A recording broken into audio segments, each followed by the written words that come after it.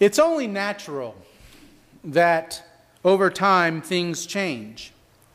As humans, we are particularly susceptible to change. Our taste in clothing might change. Our uh, friends might change. Our attitude may change. And on and on we go with things that could possibly change and, and so forth. Uh, we are people who change. Sometimes the change is good, sometimes the change is bad. But change will happen. Change is inevitable. In fact, you might even say change is a constant. That's why we are, we are constantly changing. So, what should our attitude be when faced with changes? Well, honestly, it depends on what the change involves. For example, if it concerns hairstyle, then change really isn't that big of a deal.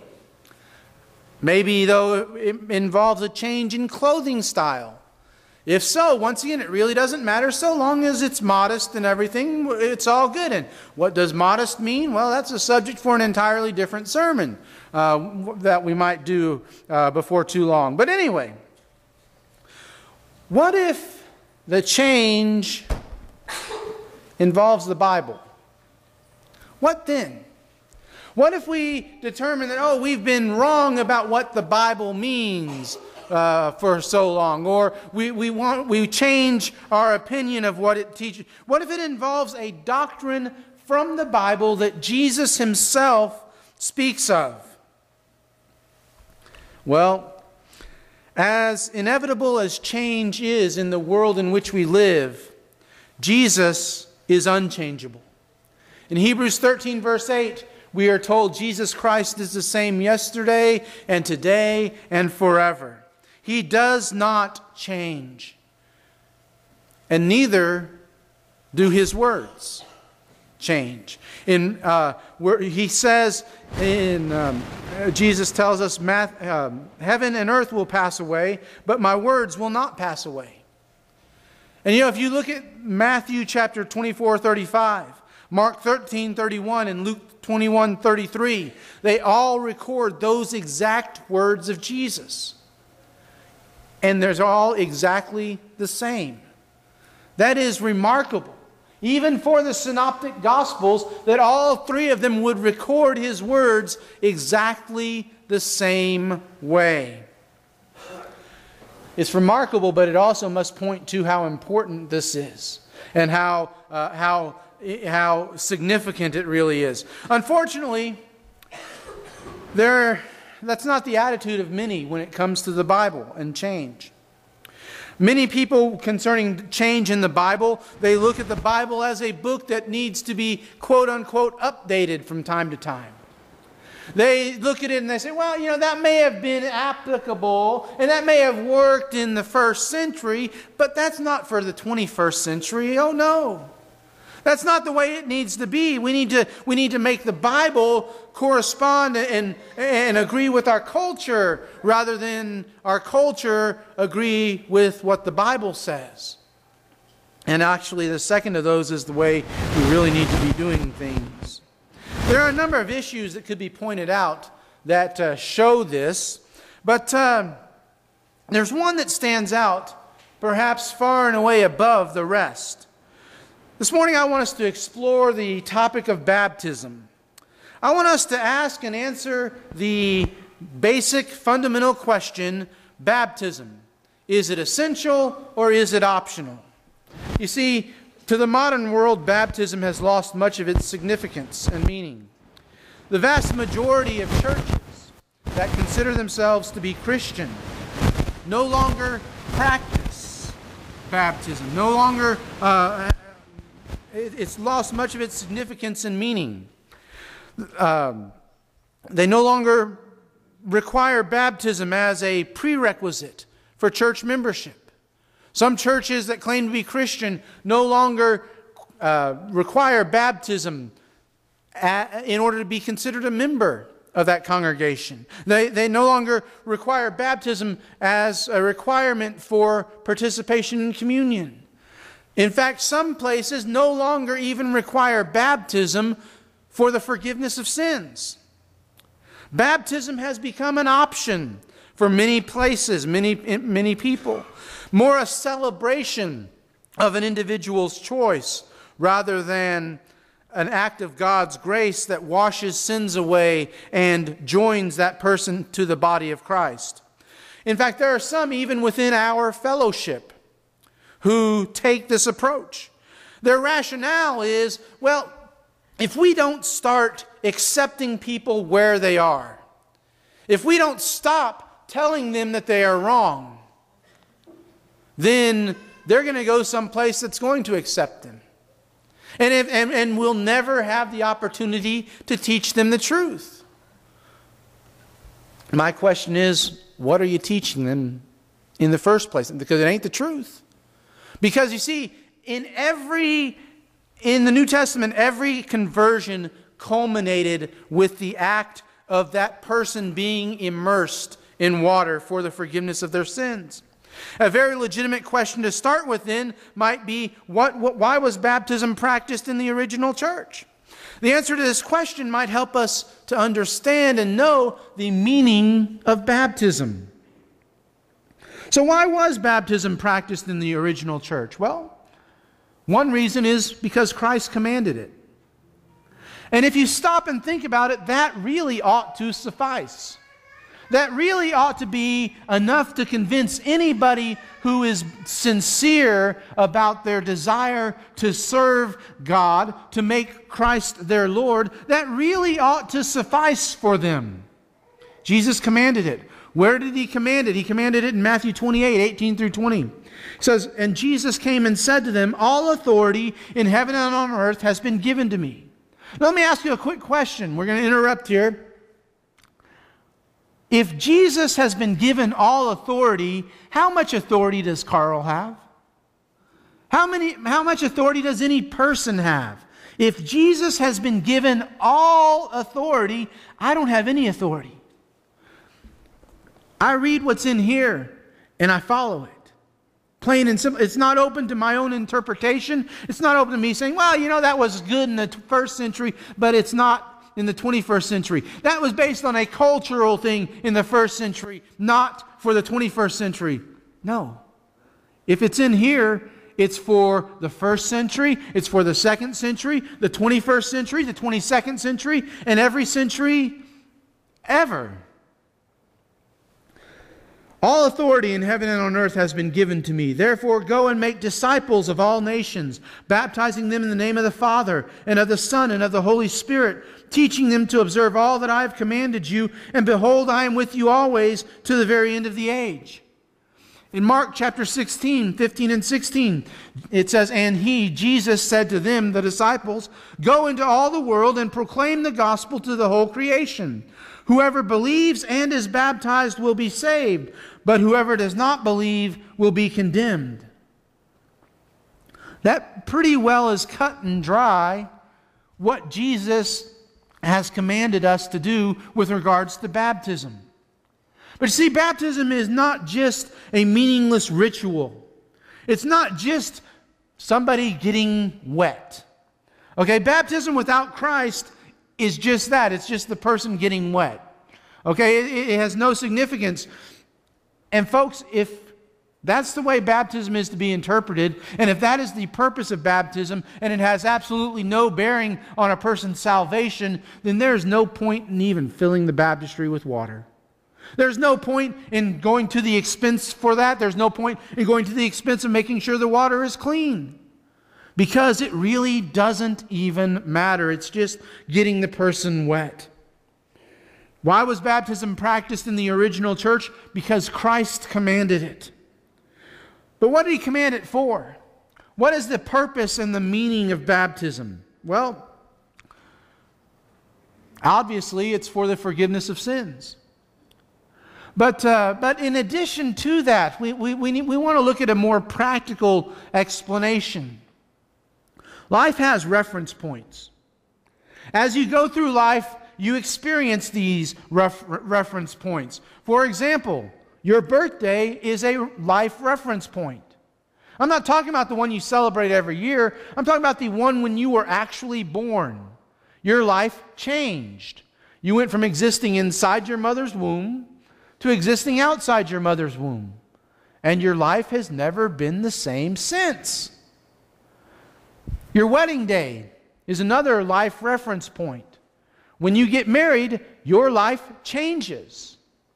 It changes in a significant way. Another life reference point is your day of death. We don't know when that is, but when you die, your life changes.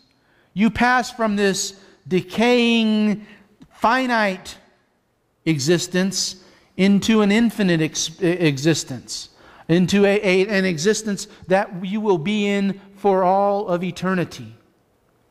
And in fact, if you were to go and look at most every tombstone in a cemetery, you're going to find those three life reference points the day of death, the date of marriage, and the date of death.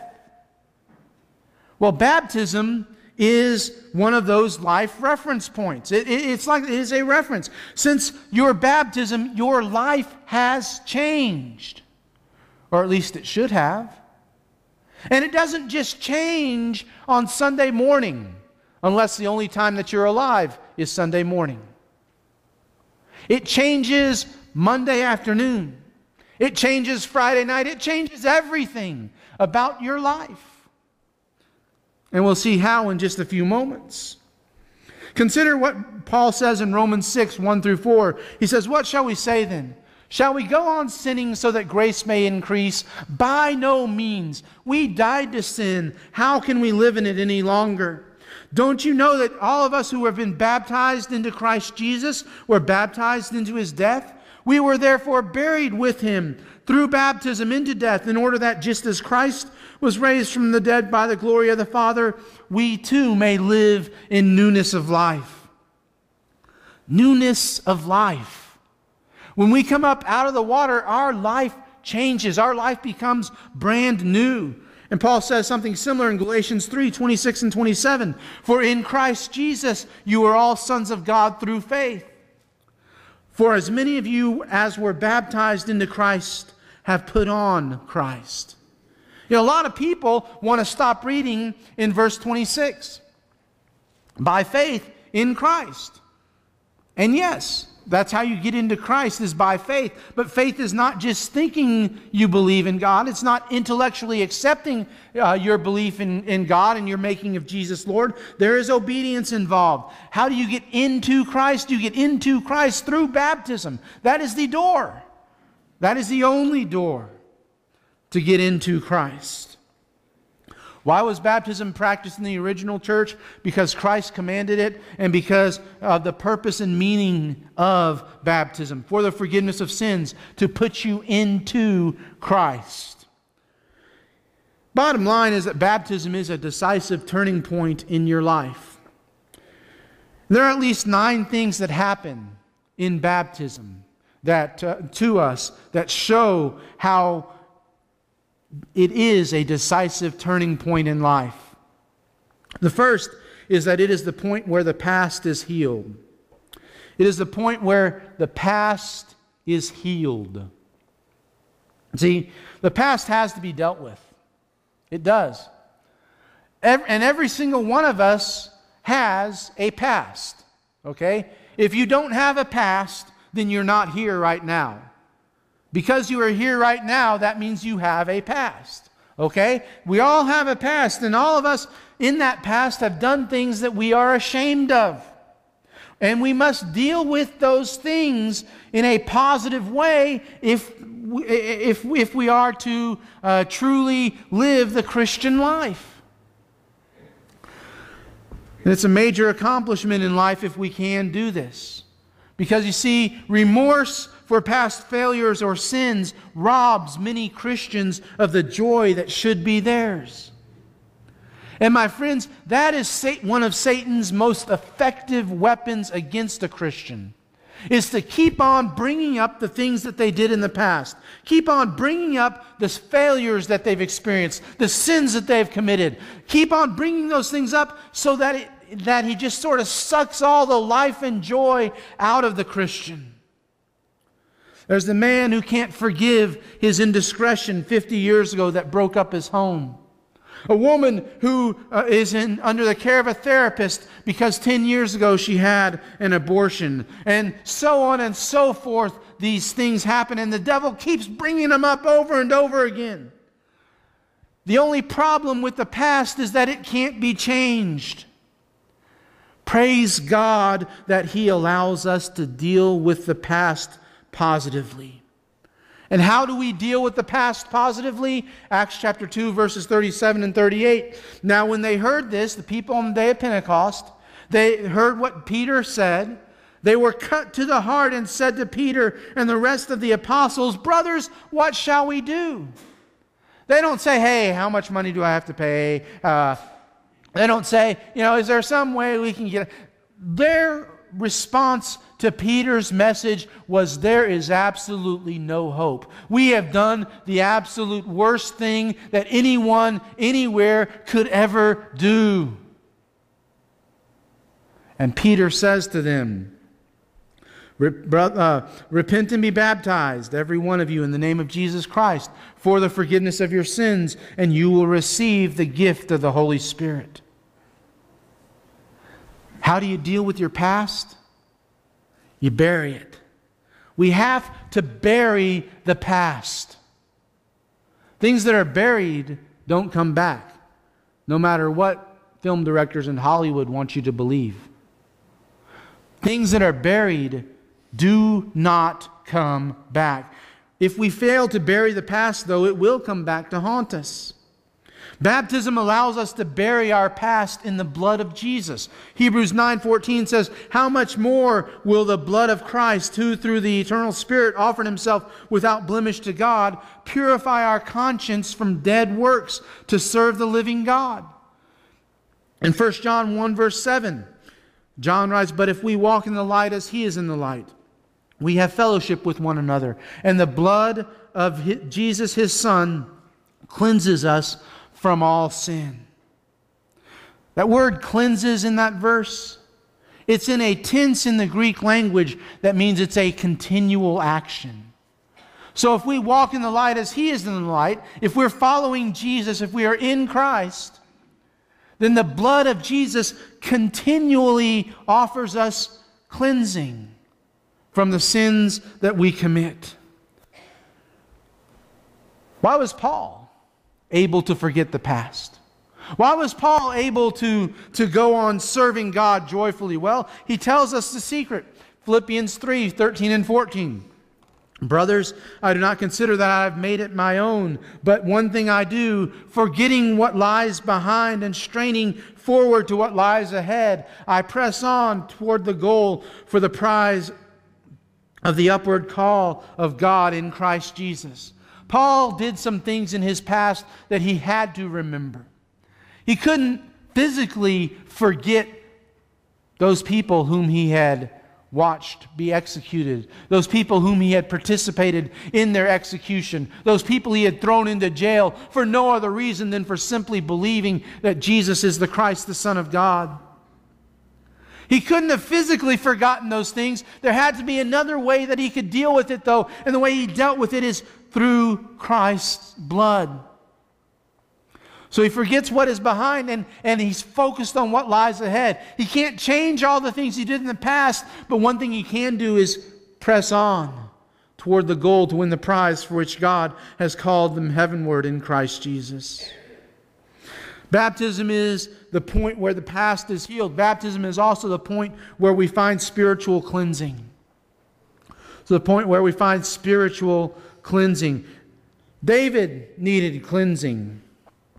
David did some pretty rotten things in his life. Psalm 19, verse 12, he says, Forgive my hidden faults. He even realized that he maybe didn't know all the bad things that he did. There were hidden faults. Psalm 51, verse 2, he says and prays, Wash away all my iniquity and cleanse me from my sin. In verse 7 of that same psalm, verse 51, uh, he says, Cleanse me with hyssop and I will be clean. Wash me and I will be whiter than snow. Psalm 51 was written after perhaps the most infamous event in David's life, his sin with Bathsheba. And he says to God, Cleanse me. I'd say, Ah, but preacher, David wasn't ever baptized, yet he received cleansing from God. So therefore, I don't have to be baptized to receive cleansing from God. And you would be right, David was not baptized. But David did what God required for cleansing when he was alive, during his lifetime, under the covenant which David fell. He did what God required for forgiveness. Under the new covenant, which we live, God requires baptism for cleansing. Because baptism cleanses. Acts chapter 22, verse 16, Ananias asks Saul of Tarsus a very important question. And now, why do you wait? Rise and be baptized and wash away your sins, calling on his name. In 1 Corinthians chapter uh, 6, verses 9 through 11, there is a really sort of long laundry list of things that, well, they're really bad things, okay? And in verse 11, Paul makes this statement And such were some of you, but you were washed, you were sanctified, you were justified in the name of the Lord Jesus Christ and by the Spirit of our God. Baptism, baptism is the point where we find spiritual cleansing. Baptism is also the point where we are spiritually and emotionally healed. That way, we're able to serve God with a clear conscience. Because if we kept, keep on remembering all of those bad things that we ever did, it's going to be really hard for us to serve God with a clear conscience. 1 Peter 3, verses 20 and 21, Peter writes, Because they formerly did not obey when God's patience waited in the days of Noah, when the ark was being prepared, in which a few, that is, eight persons, were brought safely through water. Baptism, which corresponds to this, now saves you, not as a removal of dirt from the body, but as an appeal to God for a good conscience through the resurrection of Jesus Christ. Baptism is the point where we are spiritually and emotionally healed. Baptism also is the point where new life is found. John chapter 3, verse 3, Jesus teaching Nicodemus says, Truly, truly, I say to you, unless one is born again, he cannot see the kingdom of God. Titus chapter 3, verse 5, Paul tells Titus, He saved us, not because of works done by us in righteousness, but according to His own mercy by the washing of regeneration and renewal in the Holy Spirit. 2 Corinthians chapter 5 verse 17 Therefore if anyone is in Christ he is a new creation. The old has passed away. Behold the new has come. New life is found after we are baptized into Christ. There was a small country church many years ago that was uh, having a baptism the baptism, they didn't have a nice baptistry or anything, so they, they went down to a river, and it was a, it was a cold January day. And as after the uh, person had been baptized and immersed in that uh, probably frigid river, one of the spectators called out, Hey, is it cold? Is the water cold? And the one that had just come up out of the water said, No, it's not cold. And someone else shouted, Preacher, you better baptize him again because he's still a lion. Every lie, everything that we've ever done, good or bad, doesn't matter, is washed away. And we come up brand new. It's not that we get a quote unquote clean slate we get a brand new slate before God. Never been written on. Baptism is the point where new life is found. Number five, it's the point where freedom is found. John 8, 32, 30 through 32, Jesus says, uh, uh, it says, and he, as he was saying these things, many believed in him. So Jesus said to the Jews who had believed in him, If you abide in my word, you are truly my disciples, and you will know the truth, and the truth will set you free. The truth, the truth will set you free. But what do we need to be set free from? It's a good question. What is so terrible in our lives that we need to be freed from it? Well, we receive freedom from sin. Romans 6, verses 17 and 18, Paul writes, But thanks be to God that, that you who were once slaves of sin have become obedient from the heart to the standard of teaching to which you were com- committed, and having been set free from sin, having have become slaves of righteousness. You see, sin used to be our master. But baptism, when our sins are washed away, when we are forgiven of sins, then we are freed from sin.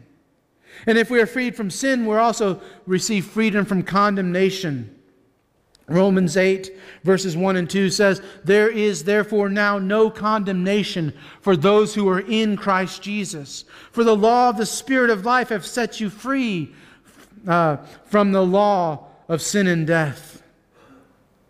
We are freed from the condemnation when we are in Christ. And again, how do you get into Christ? Once again, we reference back to Galatians 3 26 and 27. We are free when we are in Christ, and we get in Christ through baptism. Sin can only lead to condemnation. But when we are freed from sin, we're freed from the consequences of sin as well. Romans 6:23 tells us that the consequence, the wages of sin is eternal separation from God. And we're freed from that condemnation when we are baptized. Baptism is also the point where wholeness is found. Colossians 2 verse 10 says, "And you have been filled in him, that is in Christ." Who is the head of all rule and authority. We are made complete when we are in Christ. And again, we get into Christ by being baptized. The next two verses verses 11 and 12 of Colossians 2 says, In him you also you were circumcised with the circumcision made without hands, by putting off the body of the flesh, by the circumcision of Christ, having been buried with him in baptism, in which you were also raised with him through faith in the powerful working of God who raised him from the dead. Yes, there is work involved in baptism, but it is not our work it is the work of God in our lives. Number seven, baptism is a point where justification is realized. When, when one accepts Christ, baptism is the point where justification is found through Christ. And only through Christ can justification be found. And what is justification? Justification means God's accept, acceptance of me just if I'd never sinned. God's grace makes me sinless in His sight, though I am capable of sinning again. I am freed from those sins. I, I, I'm, I receive justification because otherwise I couldn't be in the presence of God. Because God's presence cannot tolerate sin. So we must be justified, and justification is achieved through this simple act. There are a lot of people who are a little bit confused about when justification occurs. Justification occurs when faith is displayed in obedience in baptism. Some people say, no, no, no, no, no, no. Justification occurs the moment that you believe that Jesus is the Son of God. That's all you've got to do. And then you're justified. And then later on, you, you show that justification by being immersed in water. But that's not what the scriptures teach. Good example, Acts chapter 9, Saul of Tarsus. He was on his way to Damascus. He saw a bright light. For three days, he fasted and prayed. Don't you think that he believed in Jesus? I mean, you know, the bright light, who are you, Lord? I'm Jesus whom you're persecuting. That make me believe. And yet, Ananias still told him, Get up, be baptized, and wash your sins away. Acts 22 16. He may have believed, He may have fasted, he may have prayed, but he was still in his sins. And he needed them to be washed away. Galatians 3 26 and 27, once again, for in Christ Jesus you are all sons of God through faith. For many of, as many of you as were baptized into Christ have put on Christ. Number eight, it's the point where we become members of Christ's kingdom. Colossians 1 13 and 14 says, He has delivered us from the dominion of domain of darkness and transferred us into the kingdom of His beloved Son, in whom we have redemption, the forgiveness of sins. In Christ we have redemption. In Christ we have the forgiveness of sins. And you get into Christ through baptism. That baptism is the doorway to the kingdom. It is entry into the kingdom is through baptism. And finally, it is the point where we die with Christ. Romans 6, verse 8, Paul says, Now if we have died with Christ, we believe that we will also live with him. Death is a prerequisite to living with Christ. Now, what is a prerequisite?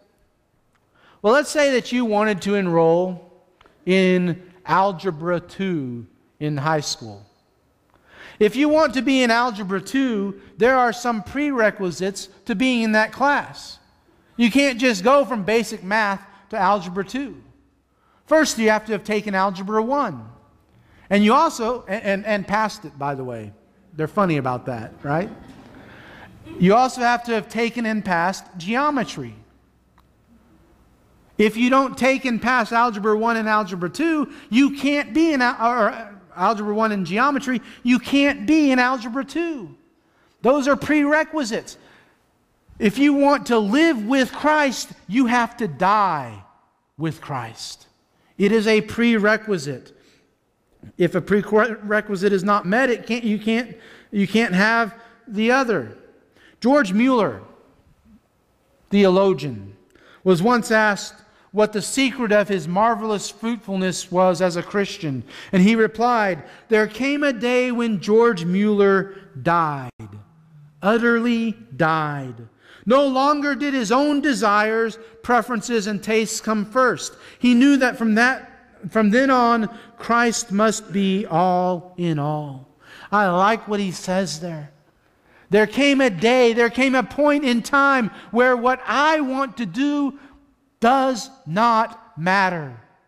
What matters is what God wants me to do. What matters is what Christ wants me to do. Things that I used to do, things that I used to even enjoy, I don't do anymore because I've been changed.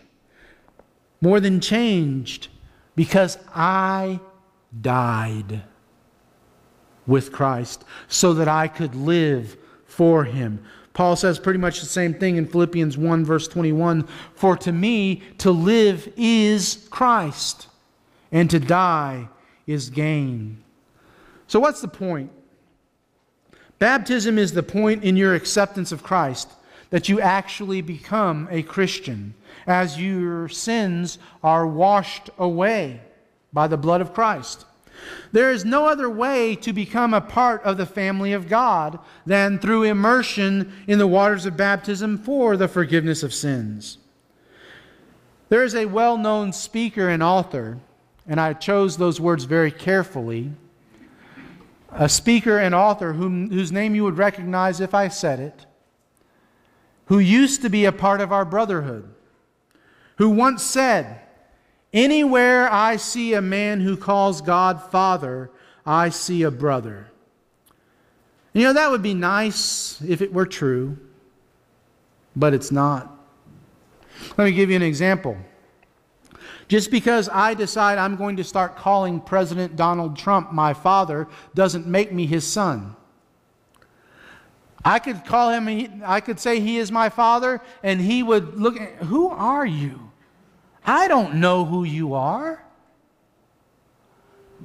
Just calling someone father doesn't make you their child. Now, there are legal means set into place whereby President Trump could adopt me into his family if he wanted to. That would be nice, get in that will.